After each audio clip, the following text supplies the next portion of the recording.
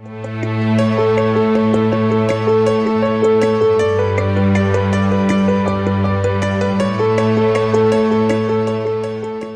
I'm Jorge Barba. I'm located in Tijuana, Mexico, right across the border from San Diego.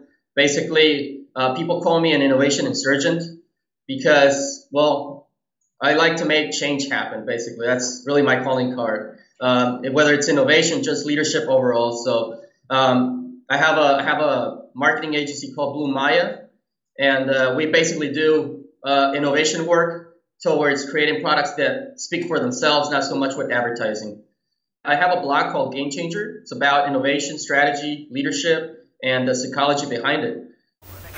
Uh, my favorite favorite disruption hero is my grandfather. Um, my grandfather was an entrepreneur down here in, in Tijuana. Um, he used to do. Uh, I, I, think that's that's because I have my multidisciplinary kind of mindset behind it. Because I remember him doing fashion, and he was also an architect, an interior designer, my grandfather built his own house. He designed it and even the interior. What I took away from my grandfather or, or that, how he influenced me, is that he, I saw he, how he built things with his own hands. He didn't rely on other people. So he liked to play and he actually wanted to build something. He wasn't just thinking about it, um, which is something I do too. I like to actually play around, not just think about ideas and whatever. I have to I have a rule, you know, if I can't put something into into into action in one day, then it's not worth my time. so whatever that means, but that's that's how it is. You get to take action.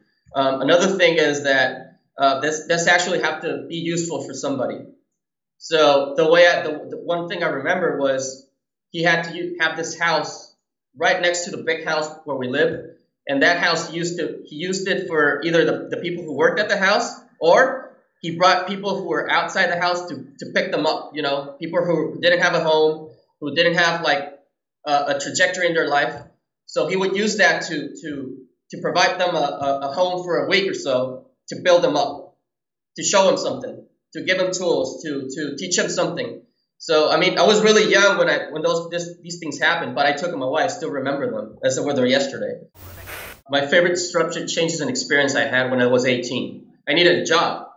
And the first job that came up was uh, with FedEx Ground, located in San Diego. So basically, I started as a loader. I started loading trucks. And the reason this is a big, a big transformation or a big uh, disruptive moment for me was an epiphany was because um, I changed FedEx. Um, the way I did was uh, on the first month that I was there, I kind of I kind of looked at it and said, you know what, this kind of sucks. I mean, you come in here and do this every day. That doesn't make sense to me. And what I did was I just basically broke rules. I broke stupid rules that existed, um, you know, that people take for granted. And apparently, my rules started working because up until the third month that I was there, um, we started. That's when we started breaking a bunch of records, like 27 weeks straight breaking records. We were doing. We were doing kind of similar to the big hub in Los Angeles at that point was an international hub the San Diego hub was a small one. We were doing almost the same volume as them, all because of my my my uh, initiatives or my strategies to break processes and and how to how to make people work too. Because that that created by me by, by me breaking processes, um, other people had more ways to work better. So you know, and and and when it happened, I, I met I met um, Fred Smith because um, it was so big what we were doing that uh, everything in FedEx took that Fred Smith came down to talk to me because they wanted to meet me. And Fred, the first meeting I had with Fred Smith is he handed me a, a, a contract to be a, well, not the sort manager, but be under the sort manager, but it was basically a management position. So I was 18 years old. I was getting a, an offer for 60K. Uh, you know, for, for, for an 18 year old, that's a lot of money. Uh, basically, my answer to Fred Smith was right across across me. I said, you know what? I can't do this. This is not what I'm doing. Um, he's like, what do you see yourself doing? I'm like, I'm gonna build a big company. It's gonna change the world. That's what I told him.